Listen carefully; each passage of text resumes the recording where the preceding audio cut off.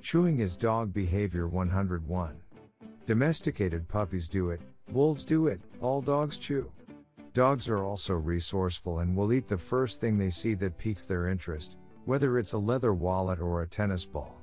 It's easy to throw your dog a seemingly harmless chew toy to keep him occupied, but this can backfire if the toy is something your dog shouldn't be chewing on. Here are 6 surprising things your dog shouldn't get in his mouth. Number 1 Ice Cubes. Ice cubes, and pieces of ice in the winter, can do damage to your dog's teeth and gums. Small dog breeds, especially, are at risk of loosening or breaking teeth when chewing ice. Instead, make sure your dog gets plenty of cold water on hot days. You could also try semi frozen berries as a treat alternative. Number 2 Tennis balls. Experts say that excessive chewing on tennis balls can destroy your dog's tooth enamel. Large dogs with strong jaws can also crush tennis balls, making the small pieces a major choking hazard. That yellow fluff covering a tennis ball.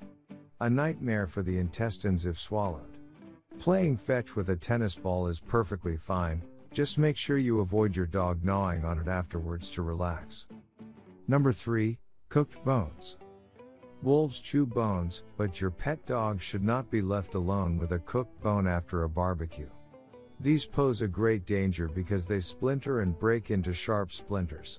Not only could these splinters pierce the gums, tongue, or cheeks, but they could also get stuck mid swallow and destroy your dog's throat.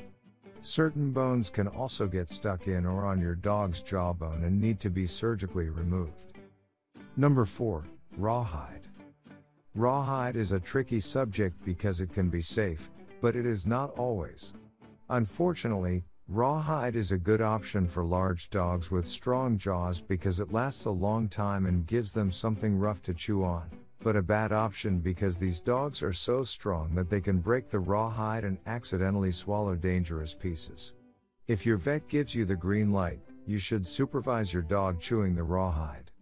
Finally, some rawhide products are made from questionable ingredients, such as leftovers from the leather and fur industries. If ingested in large quantities, they can clog the digestive system and cause stomach or intestinal problems for your dog. Number 5 Sticks.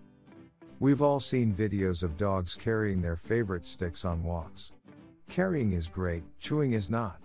Sticks and wood splinter easily, which means your dog could have a mouthful of small cuts. Swallowing sharp wood splinters is also not good for your dog's insides. Number 6 Stones. Stones are like ice cubes, only worse. Why? Because they don't melt or break as easily.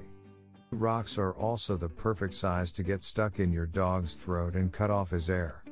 If your dog is obsessed with chewing on very hard objects, try something like a Kong.